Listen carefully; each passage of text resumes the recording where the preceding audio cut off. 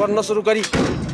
وجئتكم من هنا من سبع بنبأ يقين بنبأ يقين وليعلموا شيعة الشوارع والمتحوثين أن لهم بالمرصاد اليوم وغدا وبعد غدا بإذن الله عز وجل. بإذن الله عنكم الله. أخباركم يا شباب أخباركم؟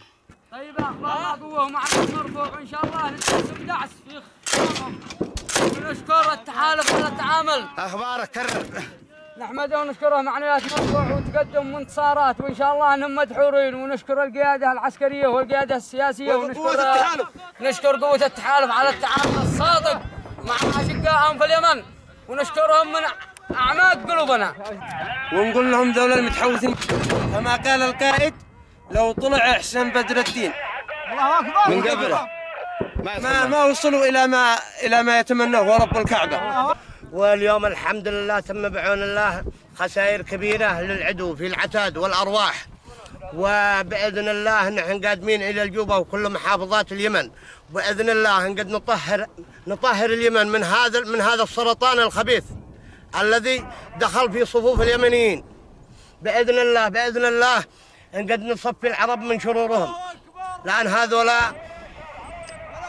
بدوا العباد والعباد. انتهكوا الأعراض.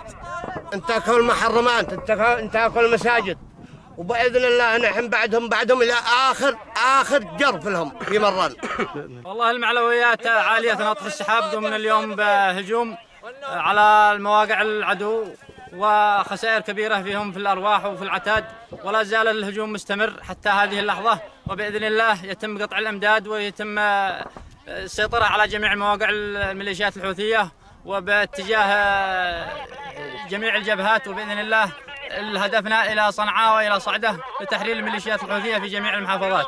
بسم الله الرحمن الرحيم. الحمد لله المعنويات تعانق السحاب والأبطال في الميدان يسطروا أربع البطولات وإن شاء الله الجوبة قادمة ومديريات جبل مراد والبيضاء وأبطال العمالقه من الاتجاه الجنوبي والجيش الوطني وأبناء القبائل الشرفاء.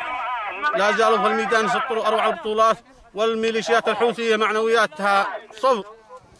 ومنهاره ولن تدوم لأشهر قليلة حتى تتحرر صنعاء بإذن الله.